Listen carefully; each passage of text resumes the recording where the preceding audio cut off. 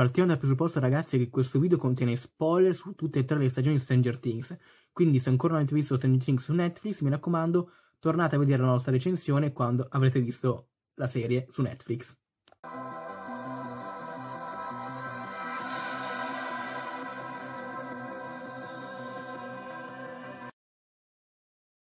Stranger Things è assieme alla Casa di Carta la serie più vista e amata di Netflix, che ci fa tornare indietro negli anni Ottanta con un po' di malinconia, di ammirazione verso quegli anni pieni di colori, di moda e di ricordi soprattutto meravigliosi.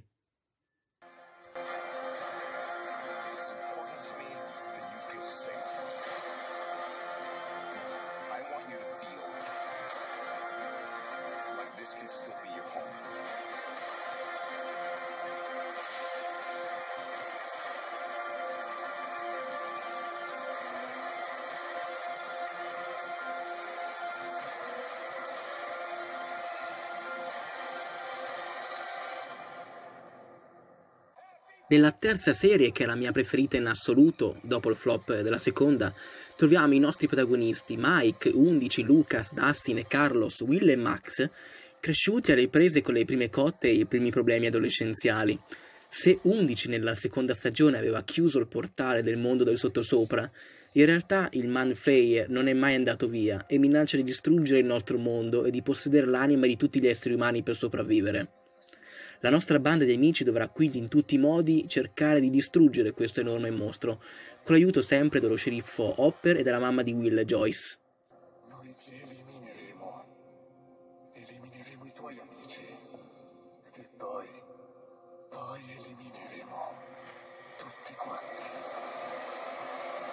In questa serie è evidente il tema della guerra fredda, con gli antagonisti, i sovietici, che cercano di utilizzare i demogorgoni come arma di distruzione verso l'America. Le azioni prendono vita in un centro commerciale, in un mall americano con tutte le luci e i colori tipici degli anni Ottanta.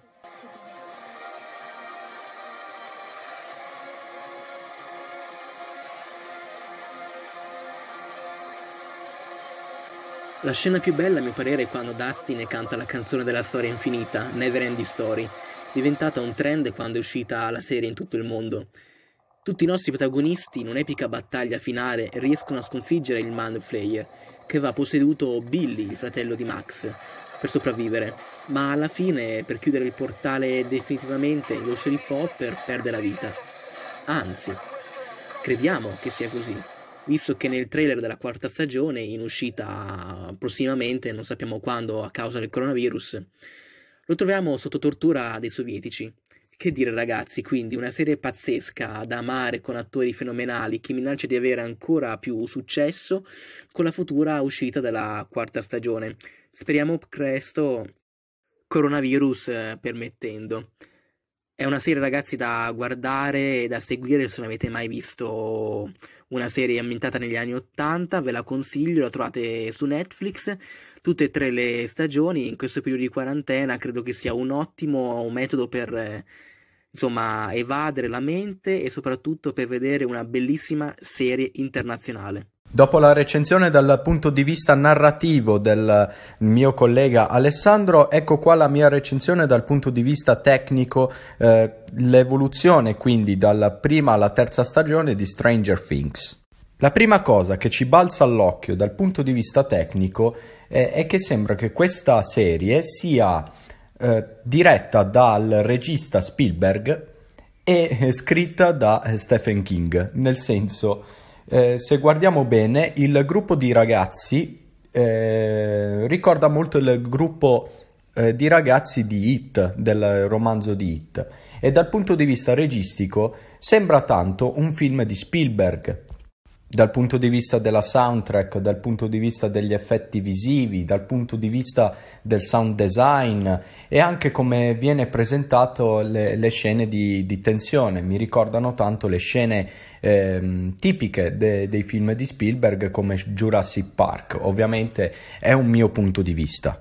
Man mano che le risorse economiche sono aumentate, sono aumentate anche eh, le risorse dal punto di vista della strumentazione, eh, della costruzione delle, mm, delle scene eh, e quindi è aumentata anche la qualità di regia dei fratelli Duffer. E I fratelli Duffer hanno eh, utilizzato al massimo le risorse a disposizione e credo che eh, ci sia stato un cambiamento radicale tra eh, ad esempio la prima e la seconda stagione. Eh, nella prima stagione eh, le immagini e le scene eh, di tensione eh, ce ne sono e il, la serie può essere mh, dichiarata e considerata horror. Però eh, le scene horror all'interno della prima stagione non mi facevano particolarmente paura, nel senso, a parte la prima puntata in, in cui viene rapito Will, quella sia una scena piuttosto forte. Ma ad esempio nella seconda stagione nel momento in cui ci sono le scene in, eh, di Will che ha le visioni del sottosopra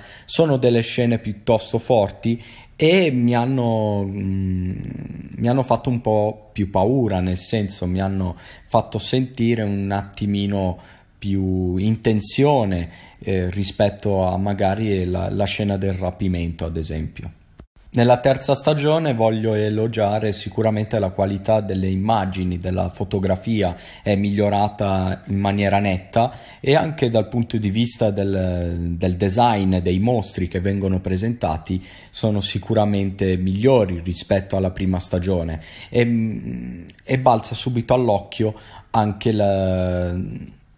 la, la frequenza con cui vengono presentati i mostri che non è eh, come nella prima stagione che eh, comparivano di meno e il Demogorgone alla fine è comparso nella fase finale eh, della prima stagione. Invece nella terza stagione compare spesso eh, la scena in cui ci sono i mostri, eh, chiaramente bisogna anche eh, sottolineare che nella terza stagione si racconta eh, lo sviluppo e l'espansione eh, del, dei mostri del sottosopra che iniziano a impossessarsi dei vari corpi umani per poter poi riunirsi in un unico mostro finale. La scelta degli attori è una scelta azzeccatissima per tutti i personaggi, nel complesso la scrittura dei personaggi è, un, è, perfetta, cioè non trovo difetti e mi ricordano tanto i personaggi tipici delle serie tv e, del, e dei film degli anni Ottanta. vengono inseriti altri personaggi eh, che fanno da contorno e che funzionano all'interno della complessa trama di Stranger Things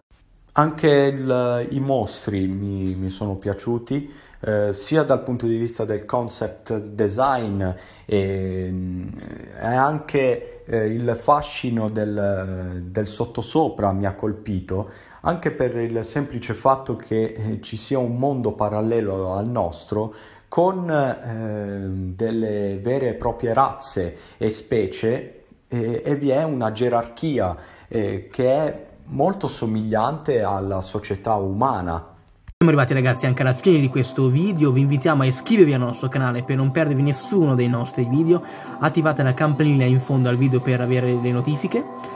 vi consigliamo di vedere tutte le nostre vecchie rubriche e ragazzi ci vediamo prestissimo per un nuovo video e una nuova recensione.